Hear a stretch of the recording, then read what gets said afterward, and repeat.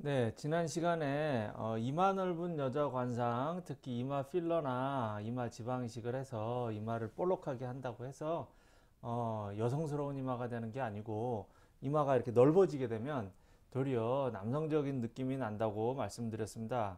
그래서 이번 시간에는 그 남자 이마 관상하고 여자 이마 관상이 어떻게 다른지 그 저번에 그 사례자의 질문을 다시 상기시키면서 말씀을 드리도록 하겠습니다. 그래서 이 사례자의 질문이 그 이마가 넓어서 모발 이식 받았는데 이마 축소가 효과가 없어서 이마 축소술을 알아보고 있다. 또한 이마 경사 각도가 좀 남성적인데 좀 더 여성적이고 여리여리하게 하고 싶다 하는 그런 질문을 주셨습니다. 여기에서 이마가 넓어서 얼굴이 커 보인다. 이것은 그 이마 축소 수술, 그러니까 이마에 그 면적을 줄이는 수술입니다. 그래서 어, 이마 축소 수술로 해결할 수 있겠고요. 그 다음에 2번 이마 위쪽이 경사져 있다. 어, 이것은 그 남자의 이마 경사 각도와 여자 이마 경사 각도가 이게 다릅니다. 그래서 여기 사진에서 보시다시피 이마가 이렇게 누워 있는 경우하고 이마가 이렇게 세워져 있는 경우하고 어, 여성적인 면, 남성적인 면으로 어, 달라지기 때문에 그 예쁜 연예인의 이마 각도는 이렇게 이마 각도가 이렇게 세워져 있는 이마 각도가 되겠습니다.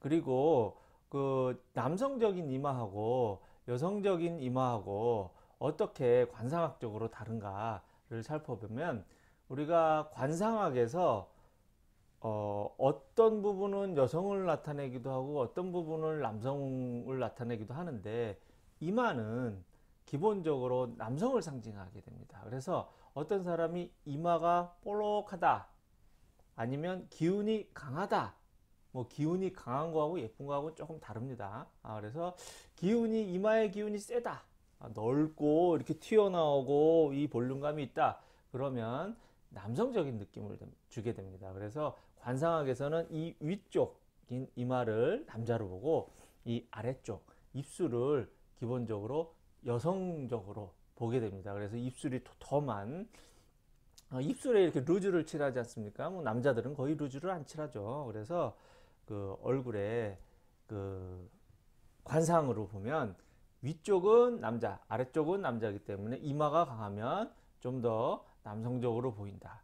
그리고 관상학적으로도 또 이게 눈썹뼈가 아 눈썹뼈가 이렇게 도드라지게 되면 눈썹뼈가 도드라지게 되면 이제 위쪽 이마는 조금 더 경사가 이렇게 눕게 되겠잖아요. 그래서 어, 눈썹뼈가 좀 더 튀어나오면 좀 더 남성적인 이마다. 그리고 이마를 봤을 때 이마에 애기들처럼 이렇게 폭신폭신한 이렇게 살, 살이 많으면 이건 또한 음, 음 음성적인 것이고 여성적인 것입니다. 그리고 이마가 이렇게 본 아주 이마가 이렇게 널찍하고 이렇게 어, 판판하고 그런데 뼈다 그게 딱딱한 뼈다. 음, 골질이다.